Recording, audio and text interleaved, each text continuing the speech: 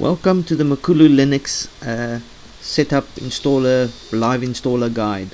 Today I'm going to show you how to install Makulu Linux. The installer has been rewritten, well most of it anyway. Uh, previously we only had one install mode, expert install, and uh, you know the script uh, or the installer guide, installer script bombarded the the user with a lot of options, lots of options and especially the the sort of more novice Linux users you know it, it was very confusing for them. So I've enabled an easy installation mode as well as an expert installation mode.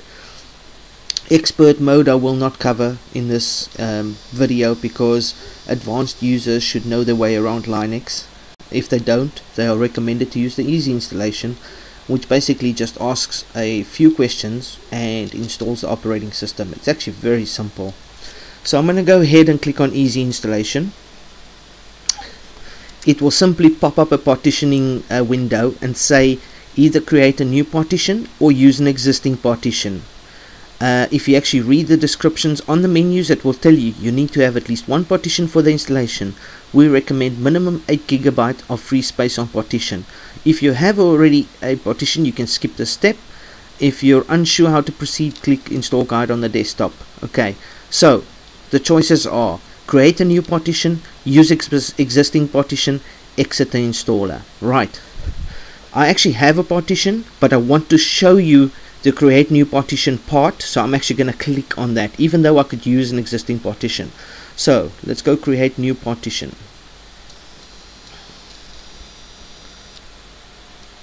Right. As you can see I'm just going to blank this. Okay. If it's a first time you're installing on PC and you've got no no partitions you will be some presented with something like this that will say unallocated blah blah blah blah. Right. All you need to simply do is go to um, device click on create partition table ok and then click new drag the slider to how big the partition you want has to be select the file system ext2 3 or 4 go add and click apply. And that is it. There partition created. So to create a partition is very simple. You click on device on tail on top click the create device tables then on the actual partition where you actually see your partition lists if you've got more than one select one right click choose new or resize or whatever you want to do. Create a partition make sure it's ext4 file system and always check over here under part where it says partition. If it says dev sda1 sb1 sbab whatever. In our case it's sda1 so we know which partition it is that we're going to be using.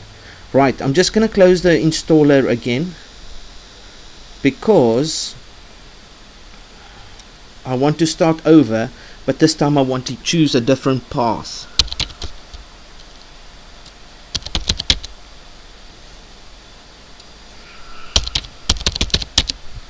Okay so I'm going to choose easy installation and I'm not going to choose create a new partition because I already have one. I mean I know which drive I want to put this on I don't need to partition which most people will not need to partition because they know where they want to install it.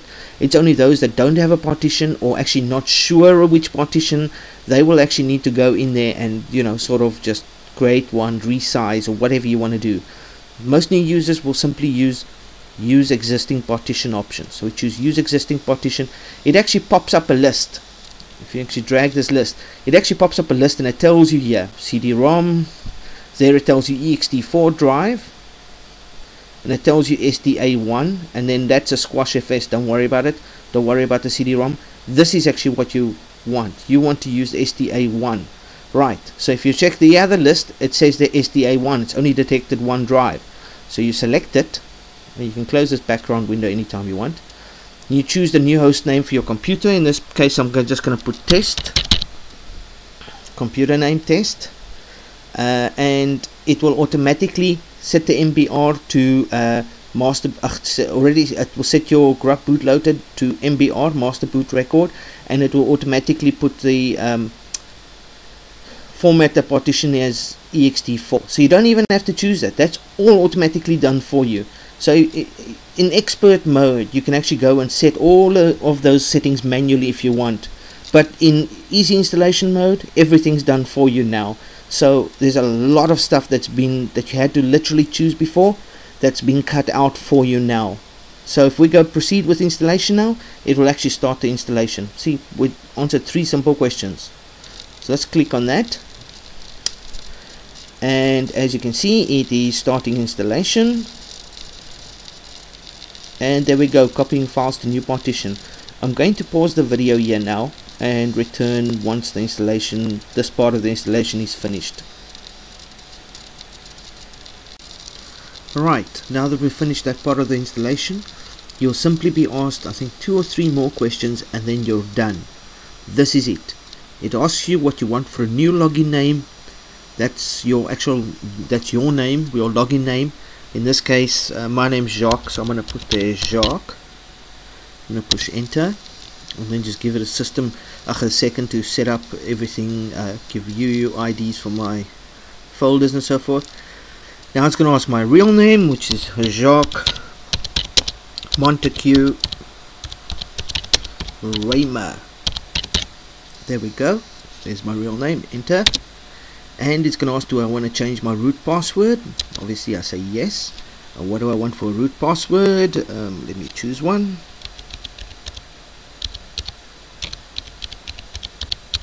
enter it twice uh, it's going to ask would I like to change my user password and I say yes and I enter that as well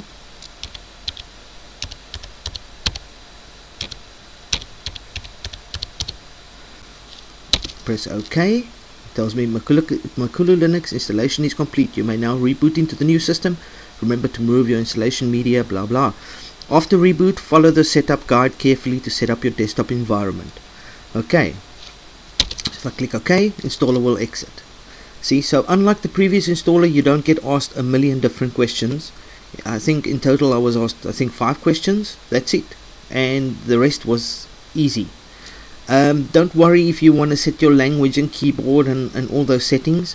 I've written a new post installation script. After you boot in for the first time into the operating system, it will actually ask you all those questions. Uh, make sure that your internet connection is working before beforehand. That's it. That's how easy it is to install Makulu Linux with a new installation in, uh, with a new installer. Thank you, and I hope you guys uh, enjoy the new series of releases.